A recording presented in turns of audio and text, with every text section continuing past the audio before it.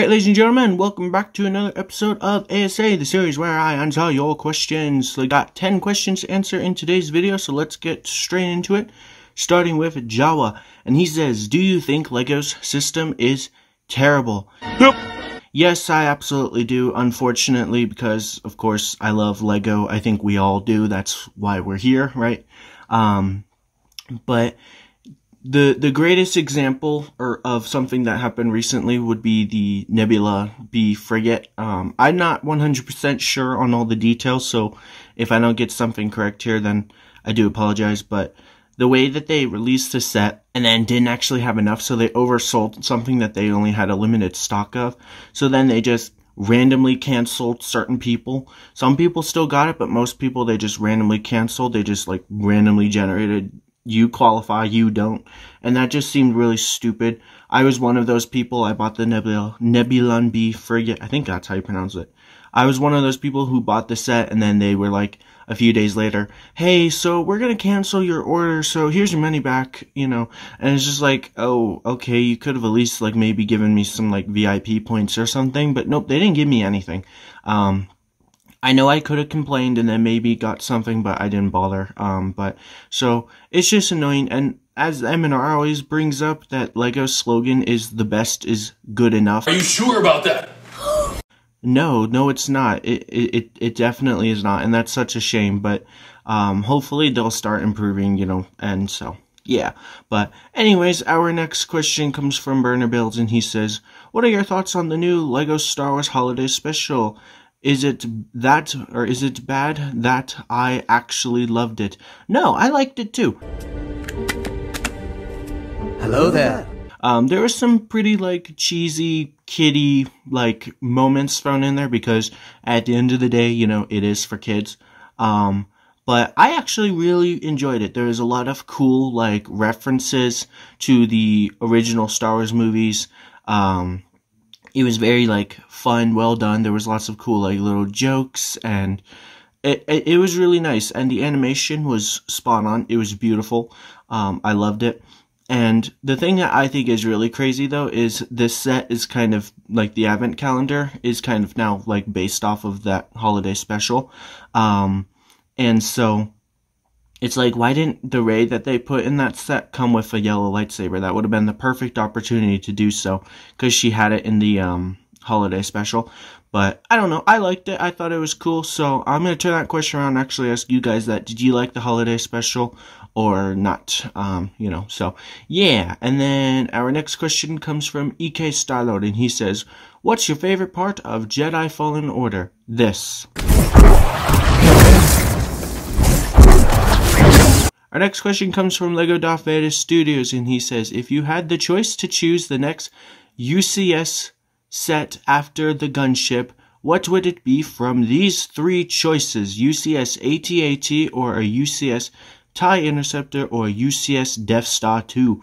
Those are all really cool, and I would love to see them all personally, but I, if I could pick, I would pick the AT-AT, I think the most people in the community would agree that that would be the absolute coolest. It would probably be the like very first thousand dollar Lego set, um, at least Lego Star Wars set, and it would just be oh so gorgeous and beautiful. They would be able to put so much more detail and like care into the way it looks and just everything. And it probably wouldn't happen, but imagine if it was motorized too. That would be like the best thing ever.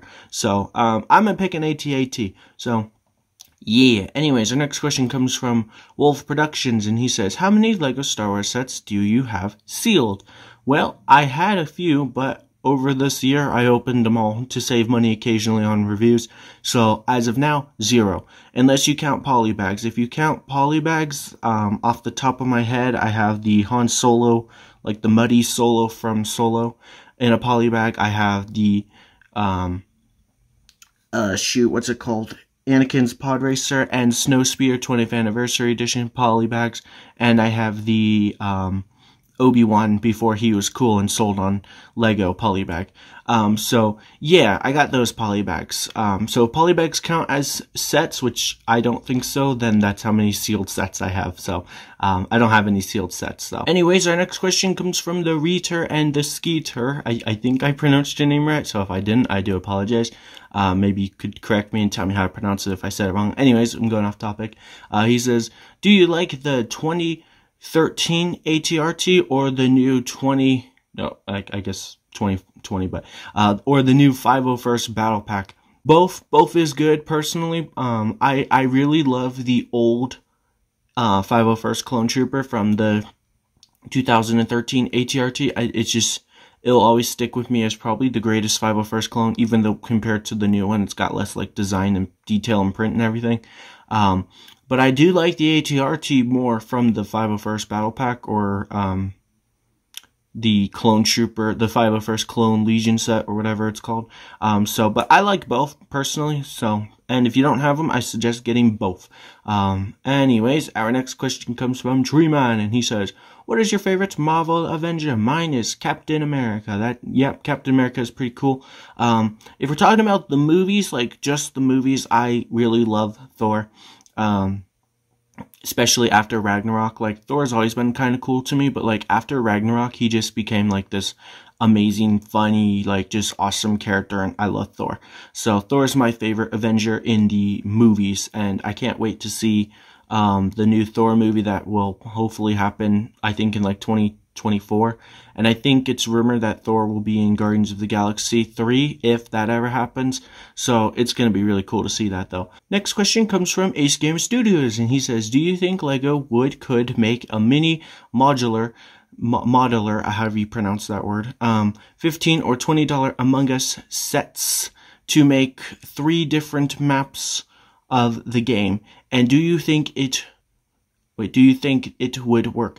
Um, okay, so do basically what you're asking me is do do I think that Lego should make or could make um, Among Us sets and would they work and sell? Um, it's hard to say, but I'm gonna say no. I don't think it would work, and here's why.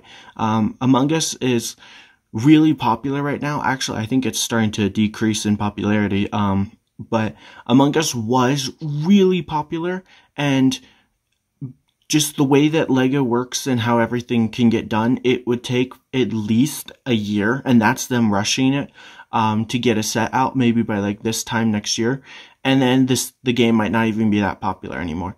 Um, so then it wouldn't sell, and I mean I'm sure it would, but it wouldn't if that makes sense. So I don't think Lego's gonna do that. Plus licensing, they gotta buy license and and make like deals and contracts and all that jazz that no one likes to go through. So personally, I don't think it's gonna happen. So hope I'm sorry if I'm um like being a Debbie Downer rain on your parade or whatever.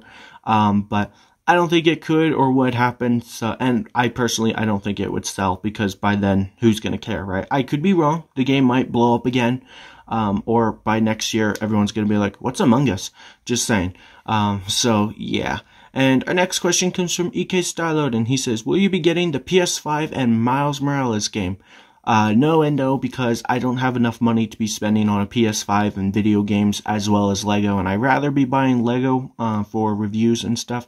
Um, however, the Miles Morales game, I heard rumors that it'll be coming to Xbox, so maybe someday, if it comes to like Game Pass or on like sale or something, I might get the Miles Morales game, but um, I'm an Xbox user and I will probably always be an Xbox user.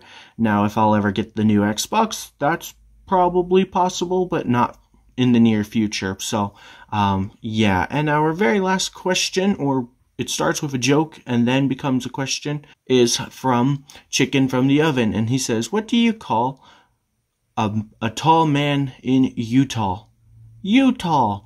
I, I, I, I get it, but that's that's really dumb. uh, anyways, his question is, um, what console or computer would you want? So rather than like a new computer, like a new Mac or a new Windows or some um, something like that, or a PS4, PS5, um, Xbox, you know, I would like a new 4K monitor. That would just be oh so cool. It would probably help me make better quality videos in terms of like things like ASA with screenshots. They would be in 4K instead of um, HD and uh, things like Mox Music maybe would look better just a little because 4K instead. Um, so, and then I could download videos in 4K and they would actually finish processing in 4K. I, I don't know how that all works um, entirely, but so a 4K monitor would be great. So if you want to buy me one because you're asking, um, I'll send you a DM on Instagram. No, I'm just kidding. Um, so, anyways, that's going to do it for today's episode of ASA. So, thank you all very much for watching. Remember to comment a question or two down below for the next episode. Next episode is episode 30. Can you believe that? Um, so, yeah. And leave a like on this video if I didn't say that already. And have a fantastic day. And I will see you next time. In the words of Burner Builds, Toodles! Did, that come out right? I don't I don't think so.